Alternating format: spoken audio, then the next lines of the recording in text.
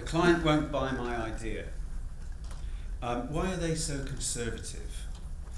Um, who's ever heard that in presentations? Who's ever had to witness all of that?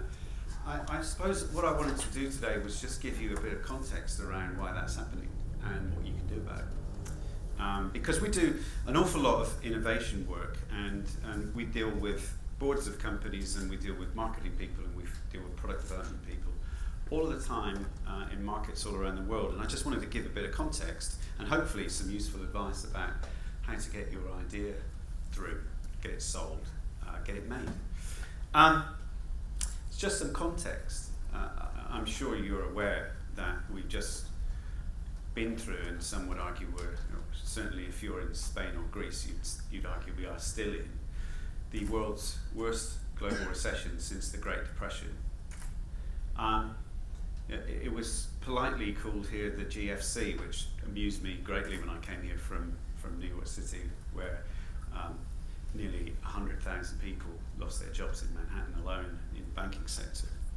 Um, so we've had seven years, the response from businesses has been seven years of essentially shrink wrapping our businesses to squeeze as much profit out as we possibly can. And what does that look like? It looks like redundancies, it looks like uh, uh, squeezing cost out, taking cost out, so that we can deliver the numbers. Um, and if you're in the board of a large uh, organization, that would probably be quite familiar to you. But essentially, you've got boards who, for the last seven years, have presided over cost cutting measures, which, if you've ever sat in a board meeting, is a relatively easy thing to do. Somebody comes in and says, Here's what we're going to do. We're going to cut costs here, and it will drop straight down to the profit line, and we'll deliver a bit more EBITDA. And the board looks at each other and looks around and says, Actually, that's a, that sounds like a great idea because delivering our numbers is what we're really here for, and governance over that. And uh, are we sure that's the right thing to do? Cut costs? Yes, I think that's probably the right thing to do. So we've had seven years of this, making our businesses smaller and smaller and smaller until you can't squeeze it anymore. Um, we now look like uh there, are, there are signals, certainly in, in North America, that we're beginning to come out of this global recession. And certainly, if you're a business trying to get out of a recessionary, shrink wrapped kind of environment, the only thing you can do is grow. You're going to have to grow the revenue line. You have to grow the top line. Um, it was Peter Drucker who said, um, innovation and marketing, everything else is cost. And it's very true, right? So you, you, you've got to market your way to growth. You've got to develop new products and services. You've got to launch them into the marketplace. You've got to grow. But it's very unfamiliar territory for people who have served on boards for the last seven years where all they've had to do is make the business smaller. So the board isn't used to this, and it trickles down. It trickles down into your ideas. It trickles down into the marketing departments, into the product development departments, into the sales departments. It trickles down in terms of um, 15 people, uh, 15 layers of approval of a single idea. And you, you just scratch your head and go, why the fuck are all these people involved in this? project. It just seems like there's an eternal number of people getting involved in this project, and it's not necessary. Why? Because the board are mandating that we take risk at, that we manage risk, that if we're going to do innovation, if we're going to grow, this kind of stuff scares me. Imagine, if you will, seven years of cost cutting, and yes, that, that, yes, we can cut that cost, yes, we can cut that cost, yes, we can deliver that EBITDA if we do that. And then up turns the, the, the CMO who says, actually, we've got a better idea. We're going to grow, and to do that, we're going to invest a billion dollars in this new product line, um, and uh, we expect it will probably generate quite a lot of money for us, but we're not entirely sure. Um, would you approve this, please? Of course, the reaction is a scared one uh, one that's pushing back, one that's trying to understand all of the components attached to this and what do I do about it. So how do you get your idea made? How do you get your innovation through? How do you get your growth strategy across in a way that it's going to get sold and your innovation gets made? Well, we, we see about five kind of lessons, five principles, if you like, uh, in, in order to, uh, that, you, that you need to think about in order to get your, uh, get your innovation made in an environment which is anti-risk. Um, the first is create a business case. And if, uh, how many of you are in advertising or in an agency?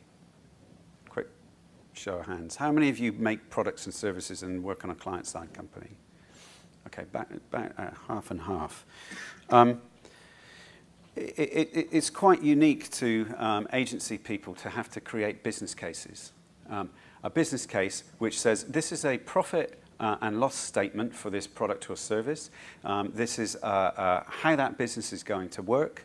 Uh, this is why we should do it, and this is why it's inevitable that if we don't create this change, then, then our business is going to go south. Um, creating business cases around ideas is something that most people are very unused to doing, but we need to, be, we need to get better at it. So creating business cases is the first case, uh, a, a business case for change.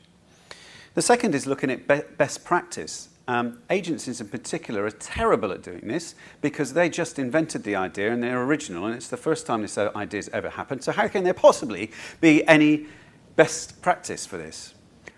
But there probably is. We need to look for ideas that have already been made, that are similar, that are in adjacent markets, that are in other overseas markets perhaps. Who else did this? It's one of the first questions that the board will ask you around your innovation idea. Has this been done before? And that's not a negative question. They're not challenging that you're not original. They want to know who else did it and what can we learn from their mistakes.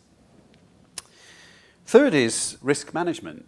Again, not something that we're terribly familiar with in the marketing area.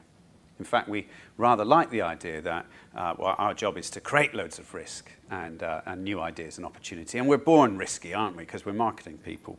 But actually, you need to manage risk. You need to mitigate risk. You need to understand where there is risk.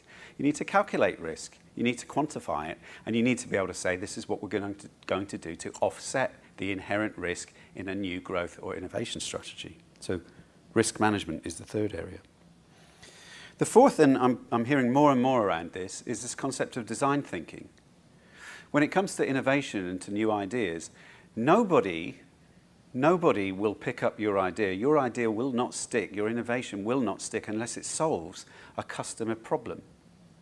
So if we understand what the customer problems are and what the unmet needs are, even if they're unexpressed, and bake them into our new thinking and our new ideas, then we've got something to lever off of. That's what design thinking fundamentally is about. So what need does your innovation answer? What problem are you solving? And then finally, uh, the, the fifth principle is one called rapid prototyping. In other words, learn by doing.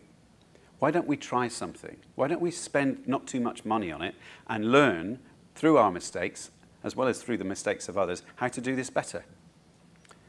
Rapid prototyping is uh, the way that technology firms work, uh, alpha testing, beta testing, etc. But it's essentially about learning by doing. So let's create models, let's create simulations, let's try this in a small test market um, to kick it off. So innovation is on the agenda now for most boards. Growth is on the agenda now for most businesses. Um, you're most often tasked with inventing those new ideas and solutions, how are you going to get them through? Thanks very much.